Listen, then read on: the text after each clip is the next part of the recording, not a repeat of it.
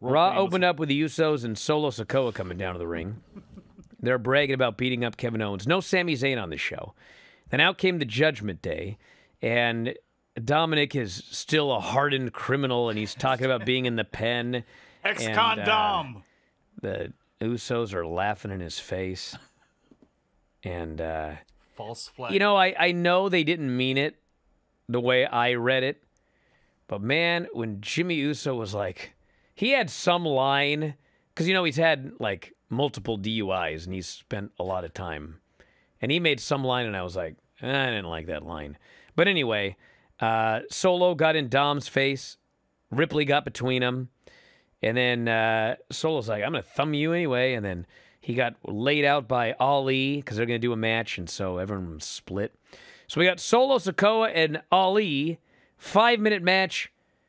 They actually they actually teased that Ali was going to end the win streak of Solo Sikoa when the Usos and Kevin Owens all distracted uh, Solo, and then Ali hit a tornado DDT, but he still kicked out, spiked him, pinned him, and then uh, Owens hit the ring. There was a big brawl, and Owens stood tall there at the end. It's a good opening segment. It's a good opening segment. Cody Rhodes in his video where he announced at the Royal Rumble, I'm back. So at least around the end of this month, you know, somebody is going to get a, a victory. Maybe if I got a big tat, like right here. Elias spoke to Byron.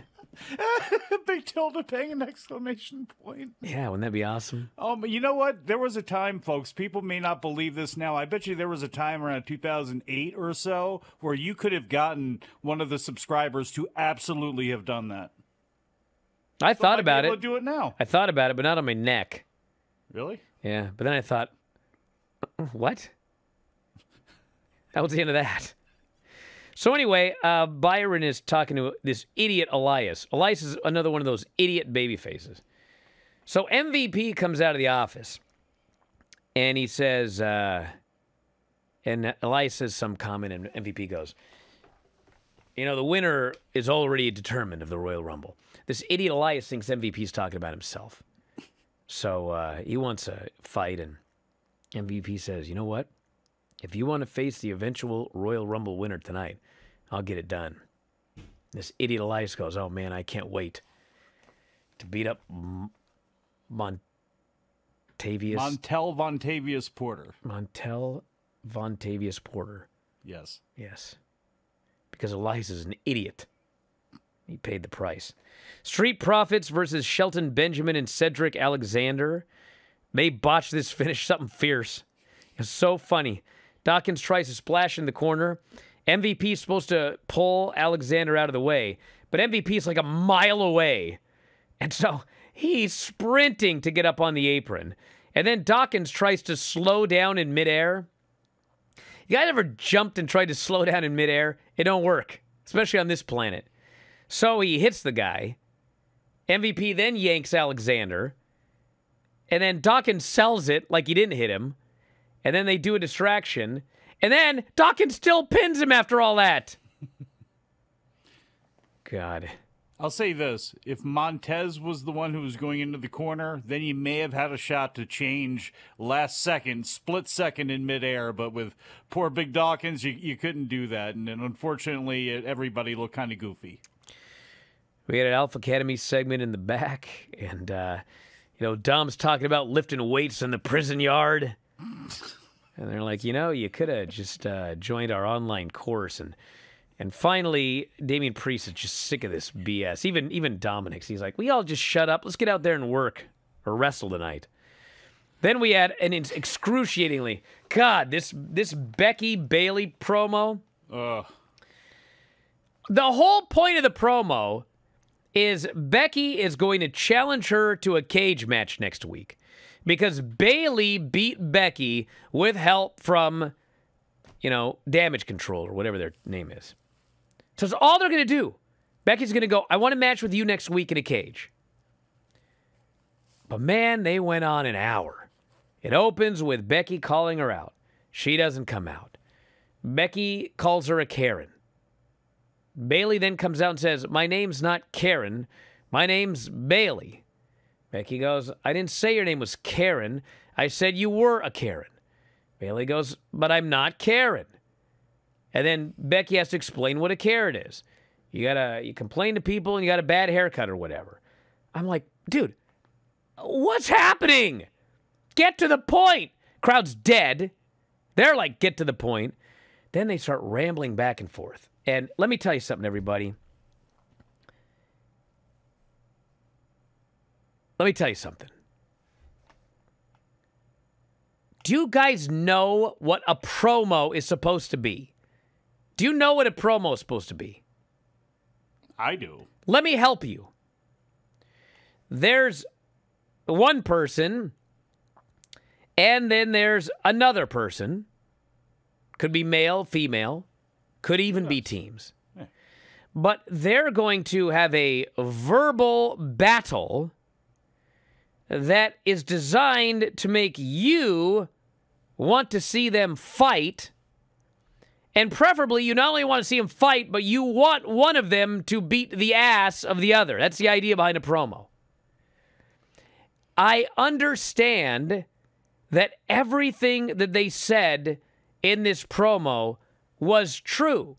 They're talking about NXT and 2015 and Bayley peaked in 2015 and and Becky was never supposed to be the man, but she was and Bayley's like it's cuz you got punched by another woman. And it's like, yeah, it's all true. Who cares? I don't care. I don't care what happened in NXT. I don't care why Becky got over. It doesn't matter. Why should I care about you two fighting? Well, actually, the answer is simple. I should care because I'm supposed to like Becky. I'm supposed to dislike Bayley. Bayley beat Becky by cheating, and I'm supposed to want Becky to get her revenge on Bayley for what she did. They barely addressed any of that. We're talking about a bunch of stupid history, which again is true, but it doesn't matter. And I, you know what? I bring it up because I've seen this a lot lately in promos. It's like two people come out, they start talking about history, they start bringing up stuff from the past. It's like good in the sense that, yeah, they deliver it well. Maybe they have passion behind what they're saying.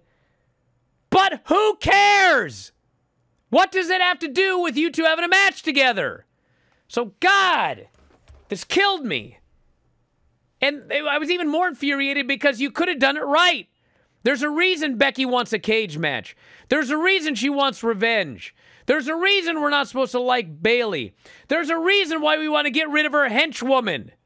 But they didn't do any of that. It was all a bunch of crap from 2015. Who cares? Then, Elias faced Omos, who was not MVP. Omos killed him, and it was over. Thank God Omos has returned. Thank God. So you know Vince is back. Yes, I am losing my voice again. And I don't care about agitating your cat. Put your cat away during the show. You know I'm going to yell. What? You're surprised I'm yelling on Observer Live? Are you new? So he gets his strength back, by the way. You got to get them vocal cords back up. Come on, boss. Yell at him. Damian Priest and Dominic Mysterio beat Alpha Academy. 11 minutes. Good match. Bro, they got I hate to say it because I like the act and everything like that, but they got to have Otis split off and go babyface. No, no, no, no. Just babyface together. No. Come on. Super no, man, Porky. Chad talking to the kids He's the. American Super Porky. Bro. Everybody loves him. You can do it together, man. No, here's the problem, Mike. Somebody's here's got the to give him the food, man. It's like here's David Spade no. and Chris the Farley. problem. Oh, Okay, man. Chad Gable can be a main event act. Otis, God Now? bless him. Otis is is Wait a second. is best served as American Super Porky. I he agree. goes out, he does the same thing. Yes. It's always an undercard person. He always wins and he always makes everybody happy. Gable can be so much more. I love Chad Gable, but you know he's not going to be so much more. He so can make be. them a super popular team that people want to see. I'll take that instead. So uh Dom got the win thanks to Priest, but then they celebrated like Dom had accomplished something. I like this match a lot. And man, the people loved old Porky. Then he tried to do his worm into an elbow, but he, Oh, he no. stumbled and so he just fell on the guy. That was Made it even better. Made it even better. he shook and he fell. Mia Yim, I, I I was actually worried about his health, but then he got right back up, so then I wasn't worried. But Yeah, the jakey leg. It's like, yeah, that was. uh wasn't sure what that was. We had uh, Mia Yim beating Iyo Sky, four minutes. It was fine. Nobody cared. It was just in and out. So That's Meechin. then we had Bianca and Alexa. See, this, even though I hated the ending because it was so stupid, this was largely done right. It was like Bianca got beat up by Alexa. Bianca comes out and goes, You talked a lot of trash last week. Come out and say it to my face. Alexa comes out to say it to her face, and Bianca changes her mind. I don't want to hear it again. I want to beat you up. You want to match of the Rumble? Alexa says, Sure. Bianca's like, Great, it's signed. Now I want to beat your ass now. So then they get a huge fight, and everything was fine. But then Uncle Howdy is dancing by concessions, and Bianca's distracted by what I don't even know what, And then she gets DDT'd, and it was it was so dumb. this stuff is so dumb. blue smoke and light. That's what she was. uh Bronson Reed murdered Akira Tozawa. He murdered him. This was a murder on national television, and I loved it. But I hope Tozawa's okay. And then Bobby Lashley ended up beating everybody else in a six-pack challenge. He gets a shot at uh, Theory next week, and I'm gonna tell you what's going on after the break. Observer Live. Watched that uh, main event last night. Yeah. It was actually very, very clever what they did. Because Lashley is out there as a total babyface. People are cheering for him. They love the guy. And then out comes MVP and Omos to screw everything up. And everything that they do is heelish and diabolical. Yet everything that happened that they were involved in just happened to inadvertently help Lashley win this match. So Love that. I'm not sure if it's happening next week, but it is inevitable that Bobby Lashley is turning heel, and the Hurt Business will be reuniting with the addition of Omos, and uh, Man, he, he was never slow part building of a, it. Was never part of a hurt business with Omos. It's like Ralph Tresvant and. And, and, and Bobby Brown getting together with Johnny Gill in this new edition. But did you know that in January, WWE presents the Royal Rumble on the show will be what is being called a pitch black match. Why, you ask? Well, Mountain Dew apparently has a drink called Mountain Dew Pitch Black. And they got a lot of money. If it's all blacked out and nothing happens, we're actually the winners because, you know, we don't have to actually watch it. Jared, put a black thing on the screen here. It's it would be like if the match le- was like this for 10 minutes and all you heard was oh ow boom uh, uh. no mike stop it if you enjoy these videos for just $7.99 per month you can enjoy full-length editions of the Bryan and Vinny Show, Wrestling Observer Live, Figure 4 Daily with Tom Lawler and Lance Storm, the Mad Men podcast, Speak Now Pro Wrestling with Denise Salcedo, and more, plus hundreds of archived shows, all in beautiful HD. Don't miss out. Join us today.